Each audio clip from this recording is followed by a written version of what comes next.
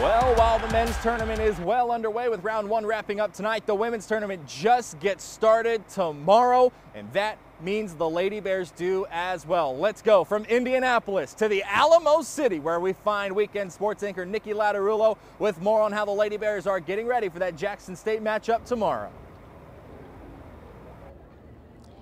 Hey Curtis, Lady Bears have been here in San Antonio since Tuesday and after a quarantine, multiple COVID tests and a bunch of practices, tomorrow is finally the day they tip off against the 15 seed Jackson State Tigers, a team that won the SWAC title and enters the matchup on a 16 game win streak. And while the Lady Bears are on a 17 game win streak of their own, head coach Kim Mulkey says they can't brush off the Tigers as an easy opponent. She said this squad plays extremely hard and physical and has experience against ranked opponents. But the Lady Bears experience speaks for itself. This is their 19th NCAA tournament appearance, and in the 18 first round games they've played in, they've only lost one. And Mulkey says that's because every team is so bought into what it means to play Baylor basketball.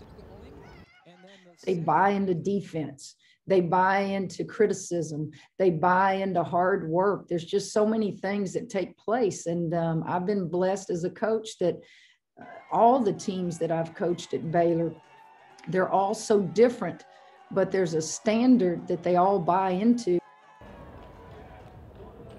the Lady Bears' 17 straight NCAA appearances is the fifth longest active streak in women's basketball. Tomorrow's first round game between the Lady Bears and the Jackson State Tigers tips off at 3 p.m. inside the Alamo Dome. We'll have full coverage of that game tomorrow night at 5. For now, reporting live with the Lady Bears in San Antonio, Nikki Latarullo, 6 Sports.